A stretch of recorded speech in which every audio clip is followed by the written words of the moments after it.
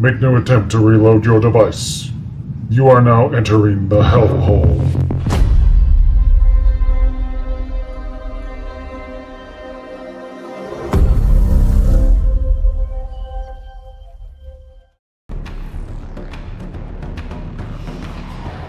As the boat sets sail, smoke and tundra linger on the fringes of the nethership deck.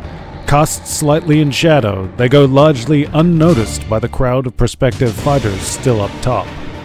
Speaking to Smoke, Tundra expresses doubt about his invitation.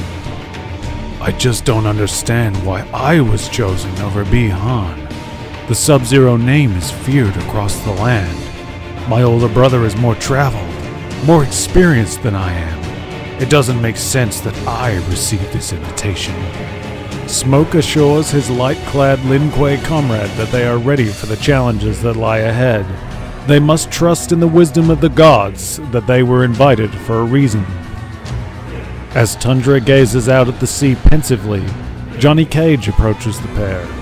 Referring to Sonya Blade and Jackson Briggs, he asks if either of them know the situation between the blonde and the muscle man. Smoke begins to omit his namesake, prompting Johnny to complain. Oh, great. Somebody point me to the no smoking section. Round one, fight. As Johnny Cage slinks away, Tundra coldly asks his clansmen if that was necessary. Smoke remarks that it's time they were feared across the land. Tundra insists he would rather be respected. Suddenly, a disembodied voice growls, Respect is to be earned, Lin Kuei scum. An iconic rope spear stabs into Smoke's shoulder and drags him further into the shadows. Get over here! Round one. Fight. Scorpion simmers with aggression as Smoke fights him to a standstill. Suddenly, the smoke surrounding the Lin Kuei fighter begins to swirl beyond his control, mirroring the clouds overhead that twist slowly into a circular pattern. Scorpion is blown back into the shadows as Fujin descends upon the ship. The fighters gather around him, cautiously maintaining a careful distance from the god, whose voice begins to swirl around them as the nethership's sails bend and the boat begins to pick up rapidly increasing speed.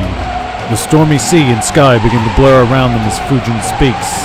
You have been chosen to participate in a tradition that has guarded the sanctity of Earthrealm for a millennia.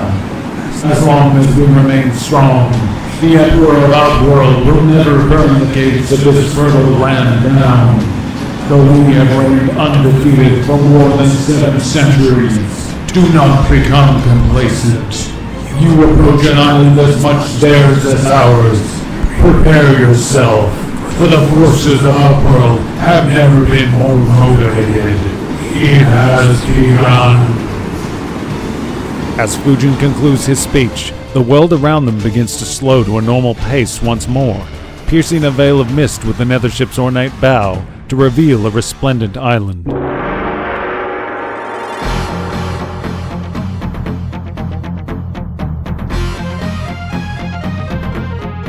Make sure you subscribe, like, and ring the bell to receive notifications for when the next chapter of the Mortal Kombat 1 Lucifer timeline goes live.